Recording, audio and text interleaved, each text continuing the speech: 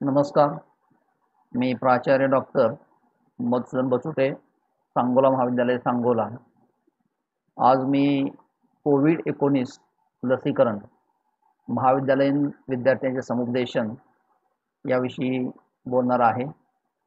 माझं जे व्याख्यान आहे ते या पाच भागामध्ये विभागलेला असेल. पहिला भाग जो आहे तो कोरोना विषाणू व कोविड एकोणीस याविषयी माहिती देणे. दुसरा भाग जो आहे तो लसीविषयी माहिती देणे. तिसरा भाग लसीकरणासाठी नोंदणी कशी करावी? हा आहे. चौथा भाग लसीकरणात जाताना. पाचवा भाग शंका समाधान. दोन हजार एकोणीस डिसेंबर महिना. हा जो आहे तो मानवजातीच्या इतिहासामध्ये एक काळाकुट्ट महिना म्हणून नोंदवला जाईल. कारण या महिन्याच्या शेवटी चीनमधून वुहान शहर जे आहे त्या वुहान शहरामध्ये सर्वप्रथम पन्नासपेक्षा जास्त लोकांना एका वेगळ्याच विषाणूची लागण झाली आहे असं आढळून आलं. आणि त्यामुळे कोविड नाईन्टीन हा रोग झालेला आहे. तर हा विषाणू सर्व जगभर पसरला आणि सर्व विश्वामध्ये हाहाकार उडवून दिलेला आहे. आणि हा जो विषाणू आहे तो विषाणू कोरोना किंवा मुकुट सारखा दिसतो. म्हणून त्याला नोव्हेल कोरोना व्हायरस असं म्हटलेलं आहे. आणि आपण जर याचा प्रसार प्रसाराचा विचार केला तर आपल्या भारतामध्ये सर्वप्रथम केरळ या राज्यामध्ये वुहान शहरातून तीन वैद्यकीय शिक्षण घेत असलेले विद्यार्थी भारतामध्ये परत आले. आणि ते तीन विद्यार्थी कोरोना व्हायरसची लागण झाले आहेत असं आढळून आलं. यानंतर महाराष्ट्राचा विचार केला तर महाराष्ट्रामध्ये पहिली केस जी आहे ती पुणे शहरामध्ये नऊ मार्च दोन हजार वीसमध्ये आढळून आलेल्या आढळून आलेले आहे. आणि आपल्या सोलापूर जिल्ह्यामध्ये दहा एप्रिल दोन हजार वीस या दिवशी सोलापूर शहरामध्ये एक पॉझिटिव्ह केस आढळून आलेले आहे. तर हा विषाणू जो आहे कोरोना व्हायरस किंवा त्याला सार्स कोव्ही टू असं म्हटलं जातं या विषाणूमुळे जो रोग होतोय त्या रोगाला कोविड नाईन्टीन असं म्हटलेलं आहे. आणि अकरा मार्च दोन हजार वीस या दिवशी जागतिक आरोग्य संघटनेने या रोगाला महामारी किंवा पॅन्डेमिक म्हणून जाहीर केलेला आहे. कारण खूप मोठ्या प्रमाणात सर्व जगभर हा रोग पसरलेला आहे म्हणून त्याला महामारी असं म्हटलेलं आहे. तर हा रोग होतो कशामुळे? तर कोरोना व्हायरस जो आहे तो अतिशय लहान डोळ्याला न दिसणारा कण जसा असतो एका मातीचा त्याप्रमाणे अतिशय कण स्वरूपात असतो. जोपर्यंत तो आपल्या शरीरात जात नाही तोपर्यंत तो निर्जीव असतो. पण ज्यावेळेस तो आपल्या शरीरात प्रवेश करतो फुफ्फुसामध्ये प्रवेश करतो त्यावेळेस तो ॲक्टिव्ह होतो आणि त्याची ॲक्शन सुरू करतो. फुफ्फुस डॅमेज करण्याची. फुफ्फुस डॅमेज झाल्यामुळे आपली ऑक्सिजन लेवल जी आहे शरीरामधली ती कमी व्हायला लागते. आणि हे जर लवकर लक्षात आलं नाही किंवा लवकर जर लक्ष दिलं नाही तर त्यामुळे मृत्यूसुद्धा ओढावतो. कोरोना व्हायरसचं प्रादुर्भाव जो आहे तो कसा होतो? तर एका व्यक्तीकडून दुसऱ्या व्यक्तीकडे. ज्यावेळेस आपण खोकतो किंवा शिंकतो त्यावेळेस आपल्या नाकातून तोंडातून काही ड्रॉपलेट्स बाहेर पडतात. आणि या ड्रॉपलेट जर दुसऱ्या व्यक्तीच्या नाकामध्ये किंवा तोंडामध्ये गेल्या तर या कोरोना व्हायरसचा शिरकाव फुफ्फुसामध्ये होतो आणि त्यामुळे कोविड नाईन्टीन या रोगाची लागण होते. त्याचबरोबर एखाद्या व्यक्तीला जर कोरोना व्हायरसची लागण झाली असेल अशी व्यक्ती जेव्हा शिंकते किंवा खोकते तर एक नैसर्गिक प्रतिक्रिया म्हणून तो आपला हात तोंडावरती घेतला जातो. आणि असा हात जर आपण दुसऱ्या व्यक्तीच्या हातामध्ये दिला त्याच्या दुसऱ्या व्यक्तीच्या हातामार्फत कोरोना व्हायरस ही कोरोना व्हायरसचा प्रसार होऊ शकतो. त्याचबरोबर कोरोना व्हायरस लागत झालेली व्यक्ती जर इतर कुठेही शिंकली किंवा खोकली तर त्याच्या तोंडातून नाकातून पडणारे तुषार जे आहेत ते पृष्ठभागावरती पडतात. अशा पृष्ठभागावरती इतर व्यक्तीने जर हात लावला तर त्या हाताच्या मार्फत त्या कोरोना व्हायरसचा प्रसार होऊ शकतो. आणि म्हणून आपण या बाबतीत काळजी घेतली पाहिजे. काळजी घेणं म्हणजे काय केलं पाहिजे? तर आपलं नाक आणि तोंड झाकण्यासाठी मास्क वापरला पाहिजे. Cover the nose and mouth with good quality mask चांगल्या क्वालिटीचं मास्क मास्क आपल्या तोंडावरती आणि नाकावरती कव्हर केला पाहिजे. त्याचबरोबर ज्यावेळेस आपण बाहेर पडू त्यावेळेस गर्दीच्या ठिकाणी जायचं नाही. आणि गेलंच तर किमान सहा फूट अंतर आपल्यांमध्ये आणि इतरांमध्ये असलं पाहिजे. त्याचबरोबर आपण बाहेर बाहेरून आलो तर आपले हात स्वच्छ साबणाने वीस ते साठ सेकंदापर्यंत धुवायचे आहेत. बाहेर जाताना आपल्याबरोबर सॅनिटायझरची बाटली ठेवली पाहिजे आणि वारंवार त्या सॅनिटायझरचा उपयोग हाताचं निर्जंतुकीकरण करण्यासाठी केलं पाहिजे. आता हा जर प्रसार टाळायचा असेल तर आपण काय केलं पाहिजे आणि काय नाही केलं पाहिजे? तर आपण बरोबर एक हँकरचीफ किंवा टिश्यू पेपर बरोबर ठेवला पाहिजे आणि आपण खोकताना किंवा शिंकताना नाकावरती तो टिश्यू पेपर किंवा हँकरचीफ धरला पाहिजे. वापरलेला टिश्यू पेपर जो आहे तो टिश्यू पेपर बंद डस्टबिनमध्ये टाकायचा आहे इतर ठिकाणी टाकायचा नाही. आणि रुमाल जो आहे तो स्वच्छ साबणाने धुवून वाळवून पुन्हा वापरता येऊ शकतो. आपण शिंकताना आपलं खोकताना जर आपल्याकडे हातरुमाल नसेल किंवा टिश्यू पेपर नसेल तर आपला जो दंड आहे कोपरा आहे तो कोपरा असा वरती घेऊन जर आपण सिंकलं तर आपल्या नाकातून तोंडातून बाहेर पडणारे तुषार जे आहेत ते इतर कोणत्याही सरफेसवरती पडणार नाहीत. त्याचबरोबर त्यानंतर आपले हात लगेच स्वच्छ केले पाहिजेत. आता आपण काय केलं नाही पाहिजे? आपण साधारणपणे तोंड आणि नाक झाकण्यासाठी मास्कचाच वापर केला पाहिजे. बऱ्याच वेळा महिला वर्गांमध्ये साडीचा पदर किंवा ओढणी किंवा इतर कापड वापरलं जातं. तर ते न वापरता स्वच्छ मास्कचाच वापर केला पाहिजे. त्याचबरोबर एक जबाबदार नागरिक म्हणून सार्वजनिक ठिकाणी न थुंकता थुंकण्यासाठी पात्र असेल किंवा लांब जाऊन जिथं कोणी जाणार नाही अशा ठिकाणी थुंकलं पाहिजे. त्याचबरोबर आपल्या घरामध्ये किंवा आसपास ज्येष्ठ व्यक्ती असतात त्यांची जास्त काळजी घेतली पाहिजे. कारण या वयस्कर लोकांची प्रतिकारशक्ती अतिशय कमी झालेली असते आणि म्हणून त्यांना कोरोना व्हायरसची लागण लवकर होऊ शकते. आणि म्हणून त्यांना या प्रसारापासून दूर ठेवण्यासाठी त्यांना मार्गदर्शन केलं पाहिजे. त्यांची काळजी केली पाहिजे. त्यांना मदत केली पाहिजे.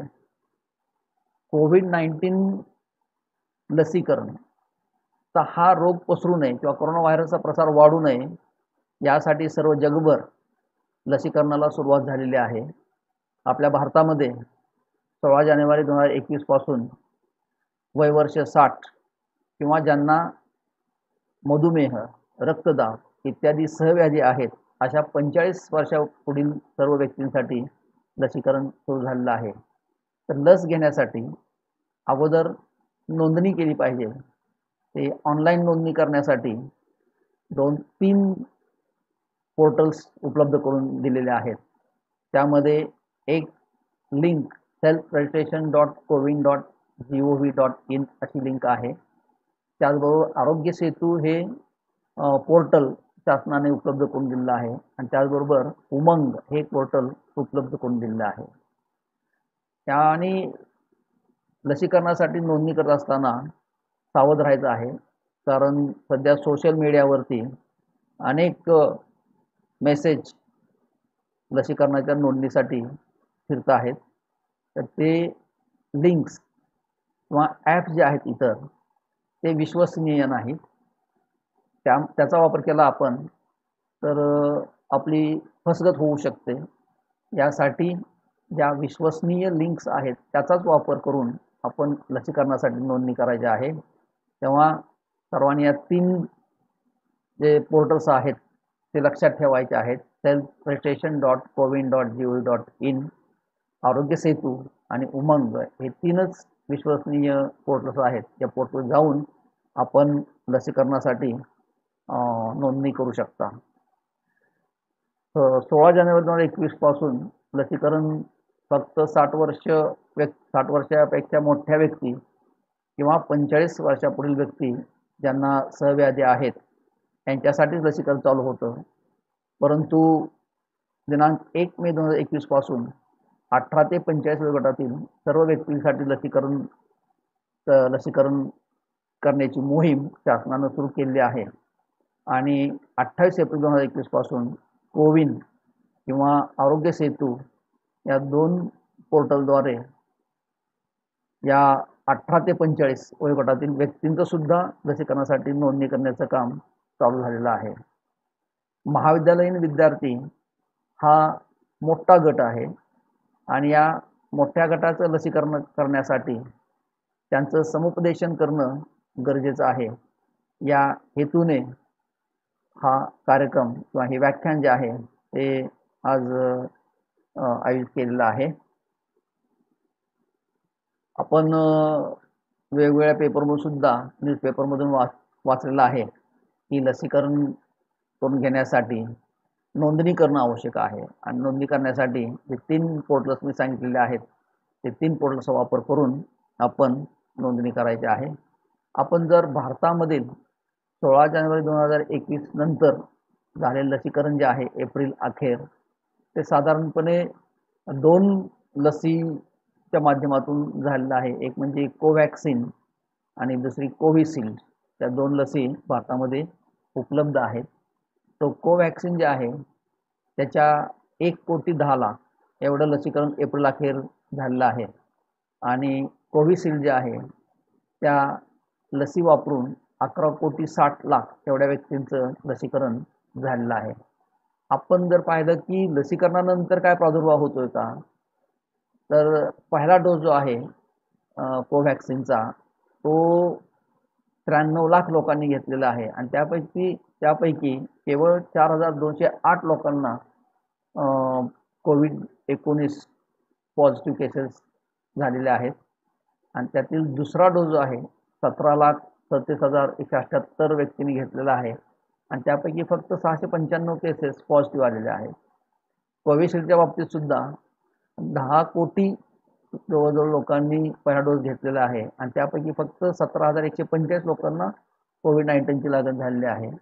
आणि दुसरा डोस घेतल्यानंतर एक कोटी सत्तावन्न लाख लोकांनी घेतलेला आहे. त्यापैकी फक्त पाच हजार चौदा लोकांना कोविड नाईन्टीनची लागण झालेली आहे. आता हे जर प्रमाण पाहिलं तर अतिशय कमी आहे लक्षात घ्या की पॉईंट नॉट फोर पर्सेंट किंवा point nought two percent point nought three percent म्हणजे लसीकरण करून घेतल्यानंतर प्रादुर्भाव होण्याचं प्रमाण अतिशय कमी आहे. दोन डोस घेतल्यानंतर मृत्यू धोका नाही. म्हणजे लसीकरण घेतल्यानंतर जरी लागण झाली तर मृत्यू होण्याचं प्रमाण अतिशय कमी आहे. आणि म्हणून सर्व लोकांनी लसीकरण करून घेऊन आपली सुरक्षा घे करून घेतली पाहिजे. आता लसीकरण ज्यावेळेस सुरुवात झाली सोळा जानेवारीला त्यावेळेस अनेक लोकांच्या मनामध्ये विरोध होता. भीती होती. का भीती होती? तर लसीबद्दल पूर्ण माहिती सर्वांना माहिती नव्हती की लस घेतल्यानंतर चांगला परिणाम होईल की वाईट परिणाम होईल. लस प्रथमच आणले आहे आणि आपण का म्हणून घ्यायची? असा एक विरोध होता. तर लोक उत्सुक नव्हते. पण मार्च नंतर जर जसे या कोरोना व्हायरसचा प्रसार वाढलेला आहे आणि मृत्यूचं प्रमाण वाढलेलं आहे त्या त्यानंतर मात्र सर्वांमध्ये लसीकरण करून घेण्यामध्ये उत्सुकता निर्माण झालेली आहेत आणि अनेक नागरिक लसीकरण करून घेण्यासाठी लसीकरण केंद्रावरती गर्दी करायला लागलेली आहेत आता लस घेण्यास भीती का आहे? म्हणजे मी सांगितलं की सुरुवातीच्या काळामध्ये लोक घेत नव्हते भीती वाटत होते. त्याला कारण म्हणजे आपणच का लस घ्यायच्या अगोदर? आपणच गिनीपीक का व्हायचं? म्हणजे बऱ्याच वेळा एखादं औषध जर बाजारात आणायचं असेल तर ते अगोदर गिनीपिक या डुकरांवरती त्याचा अभ्यास केला जातो किंवा माकडांवरती अभ्यास केला जातो किंवा उंदरांवरती अभ्यास केला जातो. तर तसा अभ्यास आपल्यावरती होऊ नये अशी एक भीती लोकांना वाटत होती. त्याचबरोबर साधारणपणे लस बाजारात आणण्यासाठी पाच ते दहा वर्षाचा किमान कालावधी आवश्यक असतो. त्याच्या सर्व चाचण्या होणे त्याचे चांगले परिणाम वाईट परिणाम अभ्यासणे त्यांना जास्तीत जास्त सुरक्षित करणे यासाठी तो कालावधी लागतो तेवढा. परंतु या लसी ज्या आहेत दोन्हीही ते आठ ते नऊ महिन्याच्या कालावधीमध्येच बाजारात आलेल्या आहेत. आणि त्यामुळं सर्वांचा एक ग्रह झालेला आहे की अतिशय घाईनं या लसी बाजारात आणलेल्या आहेत किंवा लसीकरणासाठी आणलेल्या आहेत. त्यानंतर लस घेतलं सुरक्षितता काय? की आपला खरोखरच कोविड नाईन्टीन होणार नाही आहे. नाही का? त्याचे दुष्परिणाम काय असतील? त्याच्या पुरेशा चाचण्या झालेल्या नाही लस घेतल्यामुळे संरक्षण मिळेल का? ते संरक्षण किती काळ टिकेल? आणि त्यानंतर कोणतीही लस जर इमर्जन्सी म्हणजे आणीबाणीच्या दृष्टीनं लवकर जर आणायचे असेल बाजारामध्ये तर त्यासाठी इमर्जन्सी यूज ऑथरायझेशन आवश्यक असतं. तर हे इमर्जन्सी यूज ऑथरायझेशन जे आहे ते एफ डी ए म्हणजे फूड अँड ड्रग ॲडमिनिस्ट्रेशन जे आहे त्यांच्या दिलं जातं. तर ते घेतलेलं आहे का? तर अशा अनेक शंका लोकांच्या मनामध्ये होत्या. त्यामुळं लस घेण्याच्या बाबतीत लोकांच्या मनामध्ये भीती होती. त्यानंतर मी लस का घ्यायची? लस का घ्यायची? तर आता आपण पाहतोय की हे जे कोरोना व्हायरस जो आहे ज्यामुळे कोविड नाईन्टीन हा रोग होतो आहे तर त्यासाठी सध्या तरी कोणतंच औषध नाही.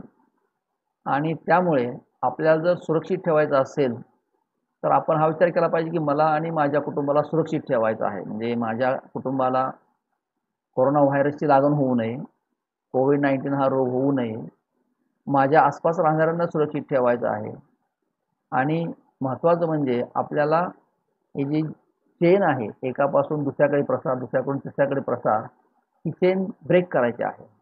यासाठी लस घेणं आवश्यक आहे. आपल्याबरोबर जे सहरहिवासी आहेत आपल्यावर जे काम करणारे सहकारी आहेत यांच्यापुढे एक आदर्श निर्माण करायचा आहे की बाबा या व्यक्तीनं लस घेतलेली आहे चला आपण पण घेऊया.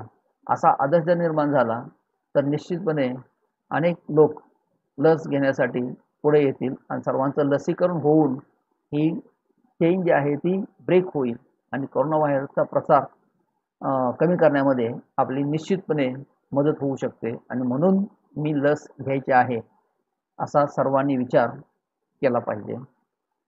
तर दोन लसी आपल्या भारतामध्ये आलेल्या आहेत. एक पहिली लस जी आहे ती कोविशिल्ड जी सिरम इन्स्टिट्यूट कंपनी जी आहे बा पुण्यामध्ये ती ब्रिटनमधील ऑक्सफर्ड युनिव्हर्सिटी ते ॲस्ट्राझेनका ही जी कंपनी आहे तिथं संशोधन झालेलं आहे. आणि त्या संशोधनानंतर सिरम इन्स्टिट्यूटला तयार करण्याचं कॉन्ट्रॅक्ट दिलेलं आहे. दुसरी लस जी आहे ती भारत बायोटेक. ही कोवॅक्सिन नावाची लस तयार करत आहे. तर ही भारत बायोटेक ही पूर्ण भारतीय कंपनी असून त्या कंपनीमध्येच या लसीबाबत बाबतीतचं संशोधन झालेलं आहे. आणि त्यांनी त्याचं मॅन्युफॅक्चरिंग जे आहे ते केलेलं आहे.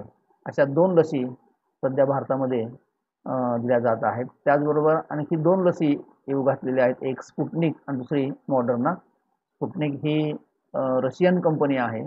कंपनीची लस आहे. आणि मॉडर्ना ही अमेरिकन कंपनीची लस आहे. आता लस घेतल्यानंतर मला काय होऊ शकेल? लस घेतल्यामुळे तुम्हाला कोविड नाईन्टीन निश्चितपणे होणार नाही. म्हणजे असं होणार नाही की तुम्ही लस घेतली आणि त्यामुळे तुम्हाला कोविड नाईन्टीन झालेलं आहे असं होणार नाही.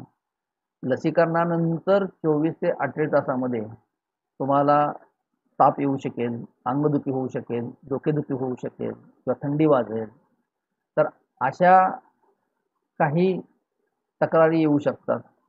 पण ह्या तक्रारी सामान्य आहेत. हा त्रास जो आहे तो सामान्य आहे. म्हणजे लसीकरण केल्यानंतर अगदी आपण लहान बाळाला ज्यावेळेस पाचव्या दिवसापासून लसी देतात त्यानंतर त्याला सो त्रास होतो. तर तशा प्रकारचा त्रास आपल्याला होऊ शकतो. कारण आपल्या शरीरामध्ये अँटीबॉडीज तयार होत असतात आणि या अँटीबॉडीज तयार होत असताना त्याची प्रतिक्रिया म्हणून हा सामान्य त्रास होत असतो हे लक्षात घ्यायचं आहे.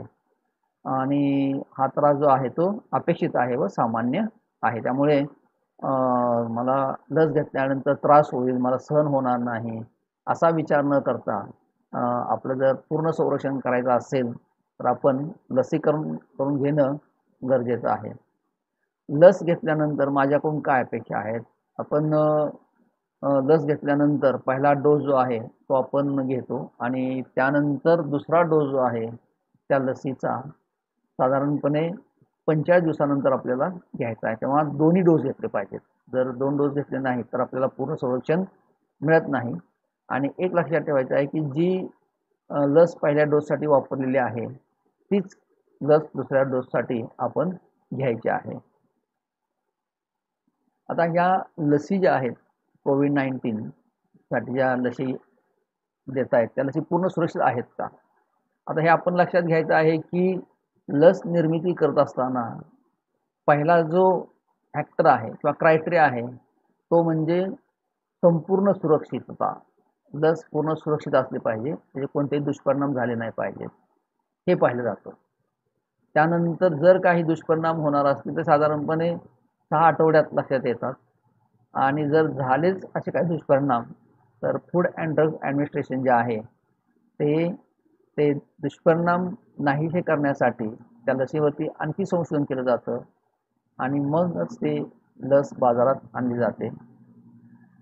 लसीकरणाच्या प्रक्रियेमध्ये लसीची सुरक्षितता वारंवार तपासली जाते. म्हणजे एखादी लस जी आहे त्या लसीसाठी किती टेम्परेचर असणं गरजेचं आहे किती टेम्परेचरला त्या लसी प्रिझर्व केल्या पाहिजेत हे पाहिलं जातं. म्हणजे लस तयार झाल्यापासून ते लसीकरणासाठी सेंटरमध्ये येईपर्यंत त्याची पूर्ण सुरक्षितता पाहिली जाते. आणि लस ज्यावेळेस बाहेर आणायची आहे लसीकरणासाठी त्या अगोदर या लसींचं चाचण्या ज्या आहेत त्या वेगवेगळ्या स्तरातील अनेक लोकांवरती केल्या जातात. एफ डी एच्या निकषांनुसार साधा किमान तीन हजार लोकांवरती या चाचण्या घेतल्या पाहिजे घेतल्या पाहिजेत असा निर्देश आहे. आणि आनंदाची बाब अशी आहे की या दोन्ही लसी ज्या आपल्या भारतामध्ये आलेल्या आहेत कोवॅक्सिन असेल किंवा कोविशिल्ड असेल त्या लसींच्या चाचण्यांसाठी तीस हजार ते पन्नास हजार स्वयंसेवक तयार झाले आणि त्यांच्यावरती या लसींचा अभ्यास करण्यात आलेला आहे. तेव्हा असं दिसून आलेलं आहे की या दोन्ही लसी पूर्ण सुरक्षित आहेत आणि म्हणून आपण लसीकरण करून घ्यायचं आहे. आता या लसीवरती आपण विश्वास का ठेवायचा? असा विचार करत असताना हे पुन्हा एकदा लक्षात ठेवायचं की food drug food and drug administration जे आहे हे लसीकरणासाठी अनेक दशकापासून जे कठोर निकष सांगितलेले आहेत ते निकष वापरूनच या लसी तयार झालेल्या आहेत. यामध्ये कोणतीही चाचणी सोडलेली नाही. जरी अतिशय थोड्या कालावधीमध्ये आठ ते नऊ महिन्याच्या कालावधीमध्ये या लसी बाजारात आल्या असल्या तरीसुद्धा या लसींसाठी ज्या आवश्यक चाचण्या आहेत त्या सर्व चाचण्या घेतलेल्या आहेत. आणि या लसींचे परिणाम पाहण्यासाठी दोन सत्त स्वतंत्र सल्लागार मंडळ नेमलेले आहेत. आणि त्या मंडळामध्ये लस तयार करणाऱ्या कोणत्याही कंपनीचा सदस्य नाही. ज्यामुळे या लसींचा निर्माण जो आहे ते पूर्ण सुरक्षितरित्याच झालेलं असतं आणि म्हणून आपण या लसीवरती पूर्ण विश्वास ठेवायचा आहे. आणि एक अपेक्स बॉडी जी आहे the vaccine and related biological product Advisory committee V R B P A C ही सल्लागार बॉडी एफ डी एला सल्ला देत असते आणि त्यांच्या सल्ल्यानुसार या लसी तयार होत असतात. म्हणून या लसीवरती आपण विश्वास ठेवायचा आहे. आता एवढ्या लवकर या लसी कशा निर्माण झाल्या? आपण पाहिलं की डिसेंबर दोन हजार एकोणीसला कोरोना व्हायरसची करोना व्हायरसचा प्रसार जो आहे तो चीनमधून सर्व जगामध्ये झाला. यामध्ये लाखो लोकांना कोरोना व्हायरस लागण झाली. त्यामुळे कोविड एकोणीस या रोगाने अनेक लोक आजारी पडले. काहींना आपले प्राण गमवावे लागले. त्यानंतर जगभरातील जे मुख्य शास्त्रज्ञ होते मग ते रसायनशास्त्रज्ञ असतील जीवशास्त्रज्ञ असतील मायक्रोबायोलॉजिस्ट असतील या सर्वांनी आपलं लक्ष जे आहे ते केवळ लस निर्मितीवरती केंद्रित केलं. त्याचबरोबर या लस निर्मितीसाठी जे आवश्यक स्रोत आहेत ते अमर्याद उपलब्ध झाले. म्हणजे पैसा अमर्याद उपलब्ध झाला. ज्ञान सा त्यासाठी अमर्याद उपलब्ध झालं. मनुष्यबळ अमर्याद उपलब्ध झालं. तंत्रज्ञान अमर्याद उपलब्ध झालं. आणि चाचण्या घेण्यासाठी विविध स्तरातील हजारो स्वयंसेवक उपलब्ध झाले आणि म्हणून पाच ते दहा वर्षाचा कालावधी लागणाऱ्या ल निर्माण करण्याचा लागणारा जो कालावधी आहे तो आठ ते नऊ महिन्यामध्येच पूर्ण केला गेला. आणि म्हणून या लसी लवकर आठ ते नऊ महिन्याच्या कालावधीमध्ये निर्माण करण्यात यश आलेलं आहे. कोविड एकोणीस लसीमुळे मी केव्हा आणि किती काळ सुरक्षित असेल बहुतांश लसींचे चार ते सहा आठवड्यांच्या अंतराने दोन डोस घ्यावे लागतात. म्हणजे पहिला डोस घेतल्यानंतर पंचेचाळीस दिवसानंतर दुसरा डोस घ्यायचा आहे. आणि दुसऱ्या डोस नंतर एक ते दोन आठवडे म्हणजे साधारण पंधरा दिवसानंतर आपल्याला पूर्ण संरक्षण मिळतं. म्हणजे या लसींचं आपल्यामध्ये प्रतिकारशक्ती निर्माण करण्याचं काम जे आहे ते दुसऱ्या डोसनंतर पंधरा दिवसांनी पूर्ण सुरू होतं. आणि सध्या तरी दोन डोस घेतल्यानंतर आपल्याला किती काळ पूर्ण संरक्षण मिळेल हे सांगता येत नाही. कारण आणखी तसं संशोधन चालू आहे. जर जशी संशोधनामध्ये प्रगती होईल तस तसं आपल्याला याविषयी माहिती मिळू ला मिळू लागेल. आणि कदाचित आपल्याला पुढील वर्षी आणखी या लसीचे डोस घ्यावे लागतील बूस्टर डोस म्हणून. किंवा रेग्युलर नियमितसुद्धा आपल्याला या लसीचे डोस घ्यावे लागतील. पण जर जसं संशोधन होत जाईल तस तसं या लसींचे पूर्ण परिणाम जे आहेत ते आपल्याला समजतील आणि आणखी त्यामध्ये खूप सुधारणा होऊ शकतात. म्हणजे दोन लसींचे डोस आपल्याला दोन डोस आपल्याला घ्यावे लागतात. कदाचित त्याऐवजी एक डोस सुद्धा घेऊन आपलं पूर्ण संरक्षण होऊ शकेल अशा प्रकारचं भविष्यामध्ये संशोधन होऊ शकतं. आता दोन डोस घेतल्यानंतर सुद्धा मी मास्क वापरायचा का? आपण जे कोरोना व्हायरसचा प्रसार होऊ नये यासाठी जे तीन प्रतिबंधात्मक उपाय वापरतो त्यामध्ये मास्क वापरणे त्यानंतर सोशल डिस्टन्सिंग किमान सहा फुटाचं आणि हाताचं निर्जंतुकीकरण वारंवार हात धुणे सॅनिटायझर वापर करणे हे चालूच ठेवायचं आहे. म्हणजे असं समजायचं कारण नाही की आता मी डोस घेतलेले आहेत आणि मी पूर्ण सुरक्षित झालेलं आहे. तर असं न समजता आपण पूर्वी जे नियम पाळत होतो तेच नियमसुद्धा तेवढ्याच परिमा परिणामकारकरित्या वापरायचे आहेत. आता आपल्याला जर या कोरोना व्हायरसची लागण थांबवायची असेल कोविड नाईन्टीन हा रोगाचा प्रसार होऊ द्यायचा नसेल तर सध्या मी सांगितलं की औषध त्यावरती नाही. त्यावरती सध्या एकच उपाय आहे तो म्हणजे लसीकरण. कोविड एकोणीसवरती जर आपलं नियंत्रण मिळवायचं असेल तर सर्व लोकांचं लसीकरण करून घेणे हाच त्यावरती उपाय आहे. आणि म्हणून महाविद्यालयातील सर्व विद्यार्थ्यांना माझी नम्र विनंती आहे की आपण सर्वांनी ज्यावेळेस आपणासाठी या लसीकरणाची सुरुवात होईल त्यावेळेस आपण लसीकरण करून घ्यायचं आहे. आणि त्यासाठी जी नोंदणी करायची आहे त्या नोंदणीच्या प्रोसिजरनुसार नोंदणी करायची. आहे. तेव्हा आता आपण लसीकरणासाठी नोंदणी कशी करायची आहे ते आपण पाहूया. सुरुवातीला मी सांगितलं की लसीकरणासाठी नोंदणी करण्यासाठी तीन प्रकारे आपल्याला नोंदणी करता येते. एक म्हणजे self registration dot CoWIN dot G O dot in त्यानंतर आरोग्य सेतू हे एक ॲप आहे आणि अलीकडेच उमंग हे एक ॲप त्यासाठी निर्माण केलेलं आहे. या तीनच स्रोतांच्या माध्यमातून आपण लसीकरणासाठी नोंदणी करायची आहे. इतर कोणत्याही व्हॉट्सअपवरती फिरणाऱ्या ॲपच्या मधून नोंदणी करायची नाही. हां आता नगर काही नगरपालिकांनी सुद्धा आपले लिंक्स तयार केलेले आहेत. त्या लिंकसुद्धा वापरून आपण नोंदणी करू शकता. तेव्हा विश्वसनीय ज्या लिंक्स आहेत त्या लिंक्सच्या माध्यमातूनच नोंदणी करणे गरजेचं आहे. तर कोणत्याही लिंकच्या माध्यमातून नोंदणी करू नका. सावध राहा. नोंदणी करण्यासाठी ज्यावेळेस आपण कोविन यावरती सेल्फ रजिस्ट्रेशनची जी लिंक आहे त्यावरती क्लिक केल्यानंतर तुम्हाला ही विंडो मिळेल समोर दिसते ती.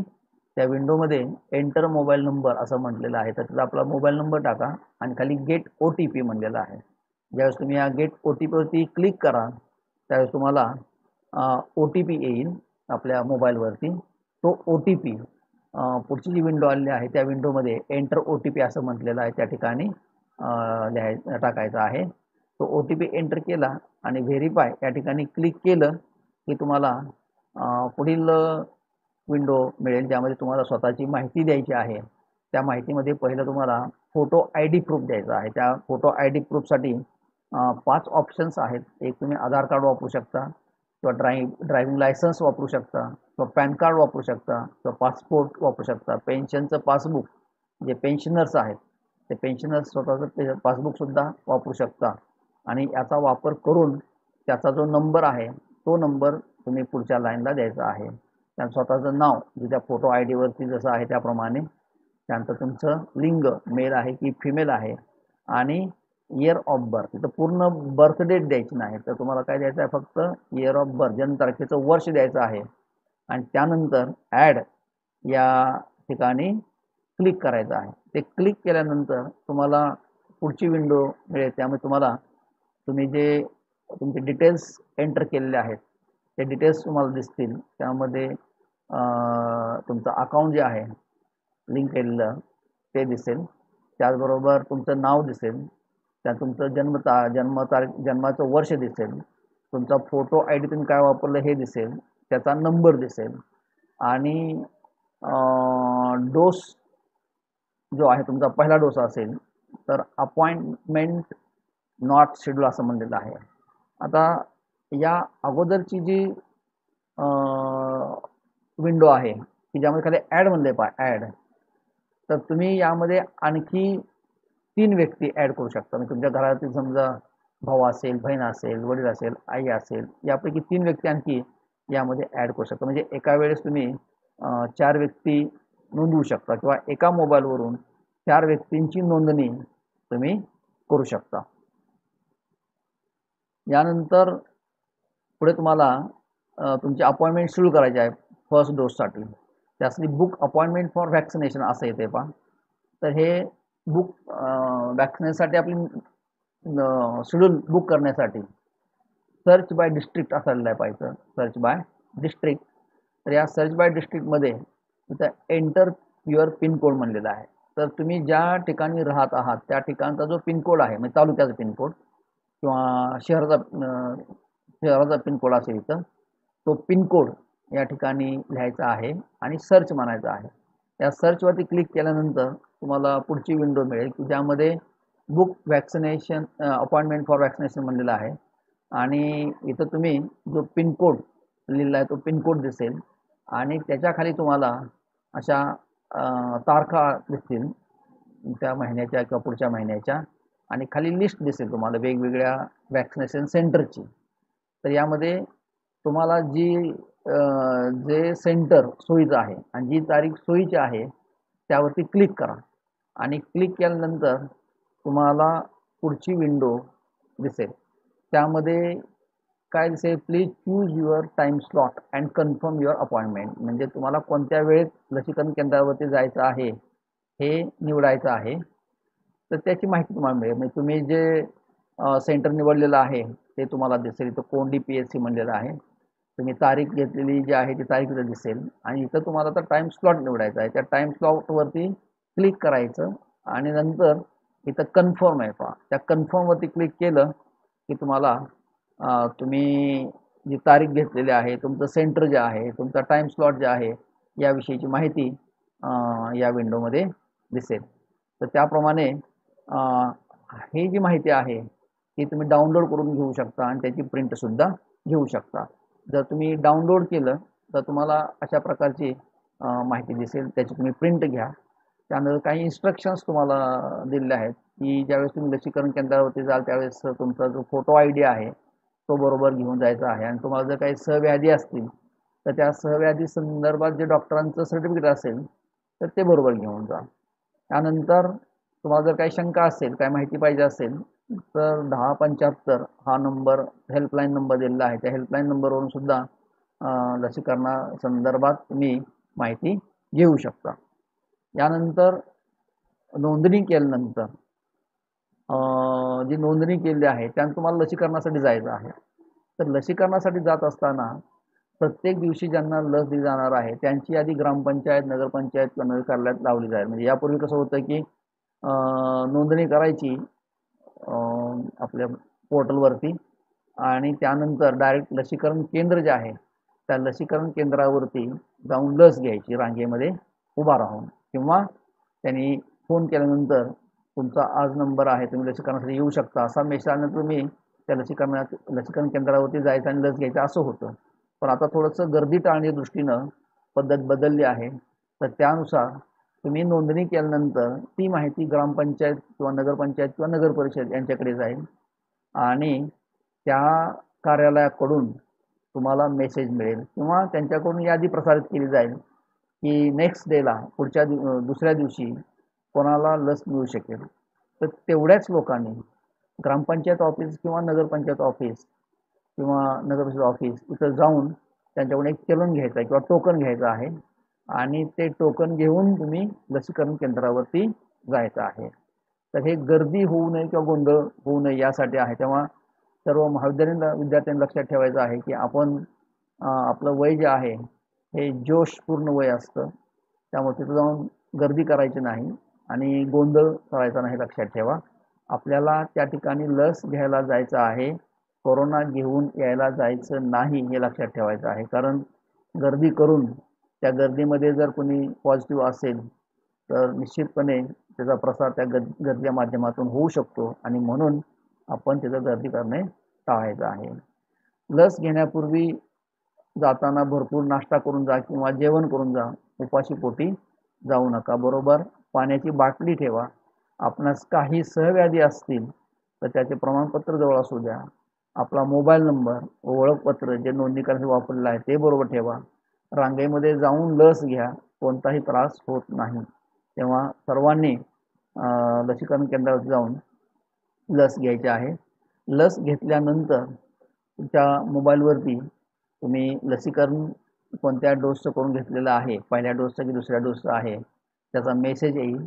आणि त्या मेसेजमध्येच डाउनलोड युअर सर्टिफिकेट असं म्हटलेलं असेल तर ते जर डाउनलोड केलं तर तुमचं सर्टिफिकेट जे आहे ते तुम्हाला तुमच्या मोबाईलवरती दिसेल. Provisional certificate for COVID nineteen vaccination first dose म्हणले पहा. तर ते त्यामध्ये तुमची सर्व माहिती येईल आणि तुम्हाला ते सर्टिफिकेट त्याची प्रिंट तुम्ही घेऊ शकता आणि जवळ ठेवू शकता. यानंतर लसीकरणा लस किंवा लसीकरण या बाबतीत बऱ्याच विद्यार्थ्यांच्यामध्ये शंका असणं साहजिक आहे. तर या ज्या शंका असू शकतात त्या शंका आणि त्यांचं समाधान आता आपण पाहूया. कोणती लस घ्यावी? दोन लसी उपलब्ध आहेत. एक कोवॅक्सिन आणि दुसरी कोविशिल्ड तुम्ही ज्या लसीकरण केंद्रावरती नोंदणी केलेली आहे त्या लसीकरण केंद्रावरती जी लस असेल ती लस तुम्ही घ्यायची आहे. तिथं मग कोणती लस असू द्या? कोवॅक्सिन असू द्या किंवा कोविशिल्ड असू द्या. कोणती लस घ्या? दोन्ही लसी सारख्याच आहेत. दोन्हीचा सारखाच परिणाम आहे. फक्त एक लक्षात ठेवा की दोन्ही डोससाठी एकच लस घ्यायची आहे. एक डोस कोवॅक्सिनचा आणि दुसरा डोस कोविशिल्डचा घ्यायचा नाही. कारण या दोन लसी तयार करण्याची जी पद्धत आहे ती वेगवेगळी आहे आणि म्हणून त्यांना आपण एकाच लसीचा डोस घ्यायचा आहे. दोन डोस घ्यायचे आहेत आता किती डोस दिला जातो ह्या लसींचा प्रत्येक डोससाठी? तर पॉईंट फाय एम एल म्हणजे अर्धा एम एल एवढाच डोस आपल्याला घ्यायचा दिला म्हणजे जातो. कोविशिल्ड असू द्या किंवा कोवॅक्सिन असेल तर हे दोन जे डोस आहेत आपले चार ते सहा आठवड्याच्या अंतरानं त्या दोन्ही डोससाठी अर्धा अर्धा एम एल एवढंच ते लसीचं सोल्युशन वापरलं जातं. त्यानंतर दोन डोस वेगळ्या ठिकाणी घेता येतील का? हो निश्चितपणे आपल्याला दोन्ही डोस वेगळ्या ठिकाणी घेऊ घेता येतील. कारण पहिला डोस झाल्यानंतर तर काही अडचणीनिमित्त आपल्याला जर परगावी जावं लागेल तर परगावी गेलं तिथं थांबावं लागेल लागलं तर त्या ठिकाणी सुद्धा तुम्हाला नोंदणी करून दुसरा डोस घेता येईल. फक्त एक लक्षात ठेवायचं की दोन्ही डोससाठी नोंदणी करणं आवश्यक आहे. म्हणजे पहिला डोस घेतला तर दुसऱ्या डोससाठी आपल्याला आपोआप बोलवतील त्यासाठी नोंदणी करण्याची गरज नाही असं समजायचं नाही. तर दुसऱ्या डोससाठी सुद्धा नोंदणी करायची आहे. तेव्हा दोन वेगवेगळ्या ठिकाणी तुम्ही नोंदणी करून दोन डोस वेगवेगळ्या ठिकाणी घेऊ शकता. लसीकरणानंतर काय अपेक्षित आहे? सामान्यपणे काय त्रास होऊ शकतो? मला त्रास होऊ लागल्यास मी काय करू? सामान्यपणे ताप अंगदुखी डोकेदुखी नाकातून पाणी गळणे थकवा सांधेदुखी असं होऊ शकतं. हे सामान्य आहे. हा त्रास फार मोठा आहे असं नाही. जरी त्रास झाला तर त्यासाठी लसीकरण केंद्रावरती तुम्हाला पॅरासिटामॉल डोलो त्या दोन टॅबलेट्स दिल्या जातात. त्या टॅबलेट्स घ्यायच्या. आणि त्याच दिवशी ज्या दिवशी लस घेतलेली आहे त्या दिवशी संध्याकाळी जेवण केल्यानंतर एक टॅबलेट दुसऱ्या दिवशी सुद्धा सकाळी जेवण केल्यानंतर दुसरी टॅबलेट आणि आवश्यकता भासल्यास पॅरास्टमॉलची तिसरी टॅबलेट तुम्ही मेडिकल स्टोअरमधून घेऊ शकता. ती जेवणानंतर रात्री घेऊ शकता. असं जर केलं तर हे जे त्रास आहेत ते कमी होतात. पण त्रास झाले तरी घाबरायचं कारण नाही. नाही मला काही त्रास झाला नाही तर. म्हणजे सांगितलं जातं की लस घेतल्यानंतर त्रास होतो आणि त्रास होणं हे चांगलं आहे असं म्हणलं जातं. पण याचा अर्थ असा नाही की ज्याला त्रास झाला नाही त्याच्या शरीरात लस काम करत नाही असा नाही. तर त्रास हो अथवा न हो लसीचं काम मात्र आपल्या शरीरावरती चालूच राहतं. त्यामुळे मला त्रास झाला नाही मग मला लस लागू पडते की नाही असा विचार करत बसायचं नाही. यानंतर कोरोनाची लक्षणं असतील तर लस घ्यावी का? कोरोना पॉझिटिव्ह रुग्णाच्या सांध्यात आल्यास लस घ्यावी का? नाही. कोरोनाची टेस्ट करून घ्यायची आहे आणि टेस्ट जर पॉझिटिव्ह आले तर लगेच उपचार घ्यायचा आहे. जर कोरोना लागण सौम्य असेल तर साधारणपणे चार आठवड्यानंतर त्यानंतर जर कोरोनाची लागण मध्यम असेल तर सहा आठवड्यानंतर आणि जर कोरोना लागण तीव्र असेल तर आठ ते बारा आठवड्यानंतर लस घ्यायची आहे. पण त्यापूर्वी आपले जे डॉक्टर असतात त्यांच्या त्यांचा सल्ला घ्यायचा आहे. त्यांच्या सल्ल्यानंतरच लसीकरणासाठी जायचं आहे. लस घेण्यासाठी किती पैसे द्यावे लागतील? सरकारी की खाजगी दवाखान्यात लस घ्यावी? सध्या सरकारी दवाखान्यांमधून प्राथमिक आरोग्य केंद्रामध्ये किंवा ग्रामीण किंवा सिव्हिल हॉस्पिटलमध्ये लस मोफत मिळते. यासाठी पैसे देण्याची आवश्यकता नाही. पण काही निवडक खाजगी दवाखान्यात जर लस उपलब्ध करून दिली शासनाने तर सध्या त्यासाठी दोनशे पन्नास रुपये एवढे चार्जेस आकारले जा जाता सांगितलेलं आहे. यामध्ये कदाचित वाढ होऊ शकते. आणि लस कुठं घ्यायची आहे हे तुम्ही ठरवायचं आहे. खाजगी दवाखान्यात घ्यायचे आहे की सरकारी हॉस्पिटलमध्ये घ्यायचे आहे. तुम्ही कुठंही लस घेतली तरी तुम्हाला तीच लस सारखीच लस मिळणार आहे. त्यामुळं विचार न करता जिथं तुम्हाला सोयीस्कर आहे अशा ठिकाणी लस घ्यायची आहे. गरोदर स्त्रियांनी लस घ्यावी का? तसे लहान मुलांनी लस घ्यायची आहे का? नाही. गरोदर स्त्रियांनी अजिबात लस घ्यायची नाही. भविष्यकाळामध्ये जेव्हा डिलिव्हरी डिलिव्हरी झाल्यानंतर डॉक्टरांच्या सल्ल्याने लस घ्यायची आहे. त्याचप्रमाणे लहान मुलांसाठी शासनाचं धोरण ज्यावेळेस निश्चित होईल त्यावेळेस लहान मुलांना लस दिली जाऊ शकते. तोपर्यंत लहान मुलांनी लस घ्यायची नाही. महिलांनी रजोवृत्ती काळात लस घ्यावी का? हो. लस ज्या महिलांना पिरियड चालू आहे अशा महिलांनी लस घेतली तर काहीच हरकत नाही. त्यामध्ये कोणताही त्रास होत नाही. अजिबात घाबरायचं नाही. लवकरात लवकर लस घ्या आणि सुरक्षित व्हा. दोन्ही डोस घेतल्यानंतर मी पूर्ण सुरक्षित होईन का? दोन डोस घेतल्यानंतर दोन आठवड्यांनी तुम्ही पूर्ण सुरक्षित व्हाल परंतु याचा अर्थ भविष्यात तुम्हाला प्रादुर्भाव होणार नाही असा नाही लक्षात घ्या. जरी प्रादुर्भाव झाला तर तो अतिशय सौम्य असेल. म्हणजे लस न घेता जेवढी त्याची तीव्रता वाढू शकते कोविड एकोणीस या रोगाची तेवढी तीव्रता वाढणार नाही. तुम्हाला डेथपर्यंत जावं लागणार नाही. तुम्ही लवकरच बरे होऊ शकता. आणि म्हणून दोन डोस घेतल्यानंतर आपण निश्चितपणे पूर्ण सुरक्षित असू शकतो. लस घेतल्यानंतर मी कोविड संदर्भातील नियम पाळायचे का? हो निश्चित. तुम्ही आता मी दोन डोस घेतलेले आहेत मी पूर्ण सुरक्षित झालेला आहे. त्यामुळे मी आता कोणतेही नियम पाळणार नाही. असं न करता पूर्वी जे नियम आपण पाळतो आहे तेच नियम दोन डोस घेतल्यानंतर सुद्धा पाळायचे आहेत. त्यामध्ये कुठेही बाधा आणायची नाही खंड पडू द्यायचा नाही. कारण आपल्या चेन ब्रेक करायची आहे या प्रसाराची. आणि म्हणून तोंडावरती मास्क हाताचं निर्जंतुकीकरण आणि सुरक्षित अंतर या तीन गोष्टी आवश्यक पाळायच्या आहेत आणि त्या भविष्यात सुद्धा पाळायच्या आहेत. लस घेतल्यानंतर मी दारू पिऊ शकतो का? ज्यांना व्यसन आहे अशा व्यक्तींनी दारू प्यायची नाही. आता कोणतंही व्यसन तंबाखू असेल सिगारेट असेल गुटखा आहे किंवा दारू आहे यामुळे शरीराची प्रतिकारशक्ती कमी होते आणि लवकर या कोरोनाच्या प्रादुर्भावाला बळी पडू शकतो.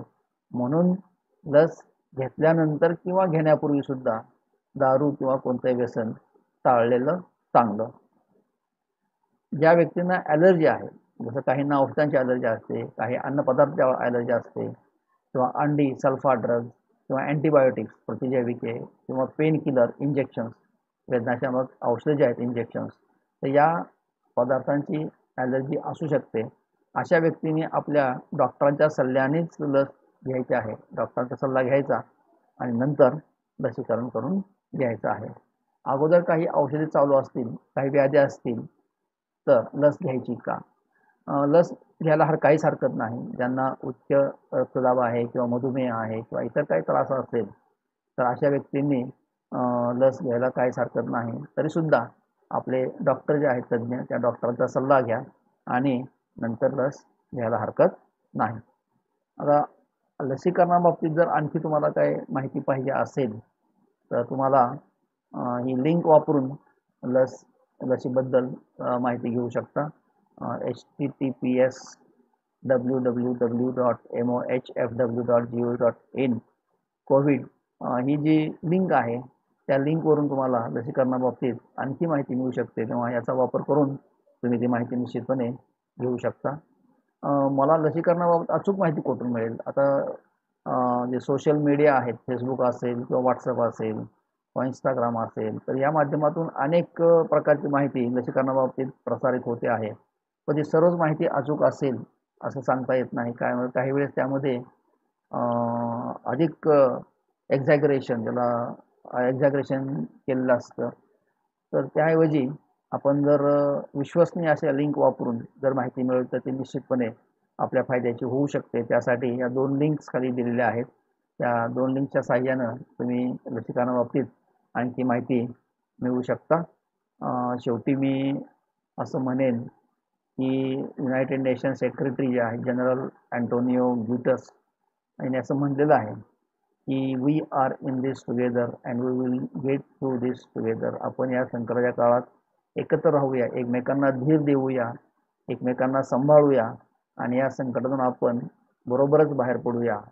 तेव्हा आपण सुद्धा भारतातील सर्व लोक सर्व लोकांनी हे संकट जे आहे त्याला तोंड द्यायचं आहे समर्थपणे आणि यातून बाहेर पडायचं आहे. आपण ही चेन ब्रेक करायची आहे यासाठी सर्वांचं लसीकरण होणं गरजेचं आहे. विद्यार्थी मित्र हो आज जर आपण पाहिलं तर भारतामध्ये दररोज चार लाखाच्या आसपास लोक या कोरोनाच्या प्रादुर्भावाला बळी पडत आहेत. आणि चार हजारपेक्षा जास्त लोकांचे मृत्यू दररोज होत आहेत. त्यामुळं यावरून असं दिसतं की खूप मोठा प्रसार या कोरोना व्हायरसचा आहे. आणि त्यामुळं मृत्यूचं प्रमाणसुद्धा जास्त आहे. जो कोरोना डिसेंबर एकोणीसमध्ये चीनमध्ये होता आपल्यापासून जवळजवळ आठ ते नऊ हजार किलोमीटर.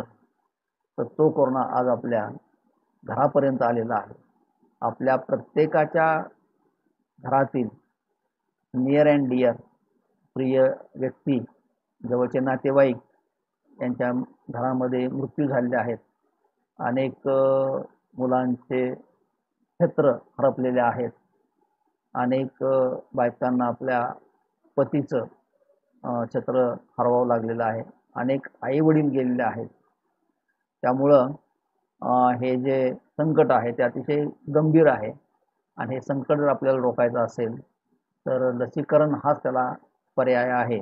आणि म्हणून सर्व महाविद्यालयीन विद्यार्थ्यांनी स्वतःचं लसीकरण करून घ्यायचं आहे. आणि त्याचबरोबर आपल्या घरातील व्यक्ती आपले मित्र आपले नातेवाईक यांनासुद्धा लस घेण्यासाठी प्रोत्साहित करायचं आहे. फक्त एकच आहे की लसीकरण केंद्रावरती गेल्यानंतर तिथं गर्दी न करता कोणत्याही प्रकारे एकमेकांना गर्दीमध्ये न ढकलता किंवा गोंधळ न करता तशी करून करून घ्यायचं आहे.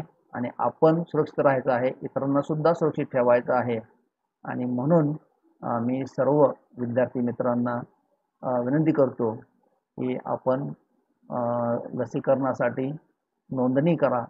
योग्य ती प्रोसिजर वापरून आणि नोंदणी केल्यानंतर ज्या दिवशी आपणाला नोंदणी करण्यासा लसीकरणासाठी बोलवलं जाईल त्या दिवशी लसीकरण केंद्रावरती जाऊन लस घ्या आणि पूर्ण सुरक्षित व्हा.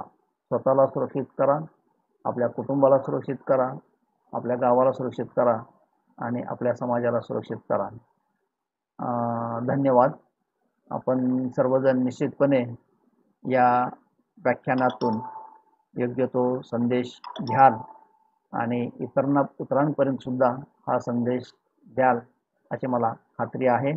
सर्वांना मी धन्यवाद देतो आणि मी माझं व्याख्यान थांबवतो. धन्यवाद.